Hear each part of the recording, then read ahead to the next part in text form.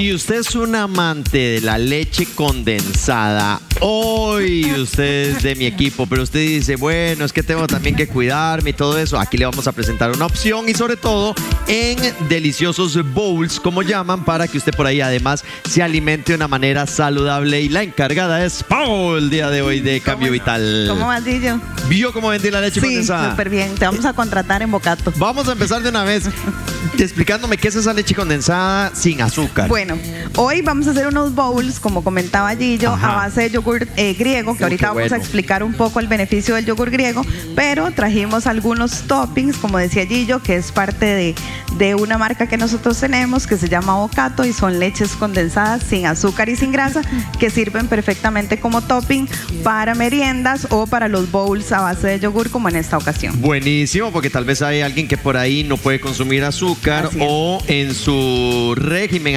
alimenticio, llamémoslo así, pues tampoco quiere consumir azúcar, consumir azúcar y esta leche condensada le va a salvar la tanda. ¿Qué tenemos por acá? Porque aparte le voy a decir una cosa, yo soy amante número uno del yogur Sí. griego, porque sirve hasta para, para hacer aderezos y uno hasta lo puede eh, camuflar en, en una ensalada. Exacto. Primero podríamos explicar básicamente que el yogur griego es un tipo del yogur al que se le filtra parte de la leche y al filtrarle la leche queda más concentrada la cantidad de proteína. Ah. Y por eso es que también el yogur griego queda más espeso. Entonces, tienes menos de esta cantidad de líquido, concentra la proteína, elimina un poco de la lactosa que tiene la leche y por eso tiene mejor tolerancia digestiva. Ok, esos pueden ser unas opciones de, de postre, de merienda, de desayuno. Exacto. también Lo que trajimos hoy son combinaciones. Al final el yogur se llama plain yogurt, ¿verdad? Porque es plano, o sea, no tiene sabor a nada.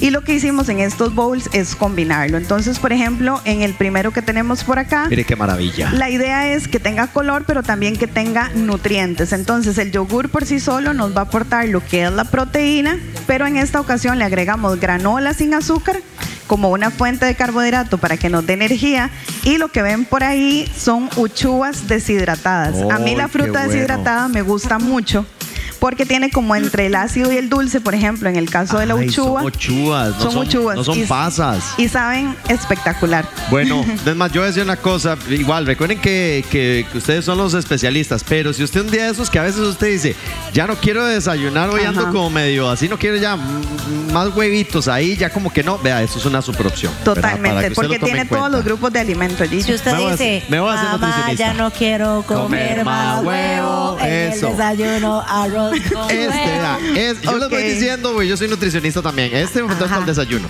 Bueno, Ok. para cualquier ocasión, pues sí, lo vamos a exacto, dar el merienda o desayuno. El que sigue igual es yogur griego, le pusimos mango, este tiene qué coco, bueno. coco rallado. Eso que ven por ahí son almendras que están cortadas de una manera diferente que hasta eso cambia el bowl y tiene una cucharadita de mantequilla de maní. Qué rico, ¿eh? Este lo voy a dejar para un preentreno. ¿Qué le parece? Exactamente, muy bien. Soy nutricionista. Usted también. Ok, a este que le ven un poquitito de color, yo al yogur lo mezclé con eh, un polvo que se llama azaí, no sé si lo conocen, pero es una fruta que viene de Brasil y viene deshidratada.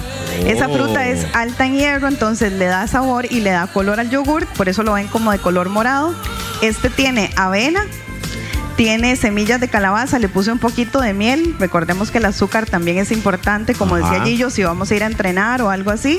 Y tiene unos eh, tipos de bayas o una familia de los frutos rojos que se llaman goji berries. Entonces le da también como ese sabor a fruto rojo. Ese es el legítimo, se me antoja algo dulcito. Exacto. Este que tenemos por acá. Ok, ya estos dos últimos vienen con las leches condensadas o el dulce de leche. Ay, este tiene, bueno.